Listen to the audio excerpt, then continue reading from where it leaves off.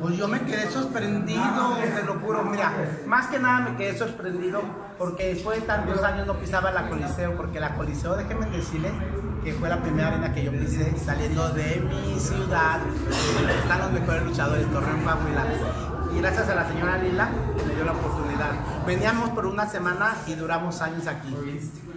Entonces, ¿cómo crees que me siento yo después de tantos años sin venir? Me presento aquí en la Coliseo. Son muchos recuerdos aquí. Son recuerdos desde que entras a los vestidores.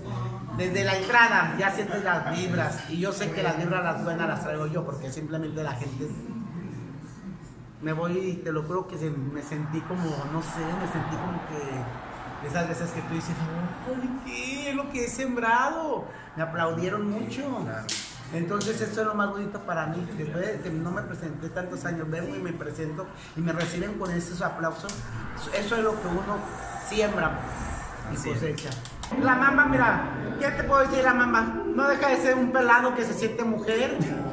La conocí en Laredo, tiene fotos cuando ahí está de hombrecillo de 13 años, ahí a un lado de la gran señora de la lucha libre que soy yo. De veras. Y ahora hasta le quité la máscara, era hombre. Le quité la cabellera, la saqué del closet, que se enojó. Y luego me paga con esto. ¿Cómo se atreve? Debería de estar agradecida que yo la saqué del closet. La verdad. Y, y- y de- y conmigo se está agarrando para hacerse más famoso que los videos que hace. Ahora fíjate que ni voy a hacer video porque siempre quiere lucirse ella. Sin saber que la, la reina soy yo. Si no me retiraron. Ahí con el perdón de la palabra, cuando andaba en malos pasos. Ahora que estoy limpia, sana, solo por hoy. Eso. Menos me van a retirar. Porque Pimpinela todavía hay mucho hacia la mamba esa que Federico Vera es un hombre vestido maquillado. Ahora te voy a hablar del luchadorazo, que siempre lo he dicho, Casandro. Para mí es el mejor exótico internacional.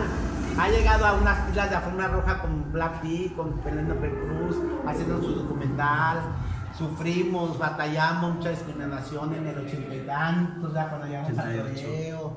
No, muchas, muchas experiencias que tuvimos yo y Saúl Almendares. Lo quiero mucho. A Mamba, a pesar de que me haya traicionado, se le estima. Pero eso no se vale que me han dicho eso.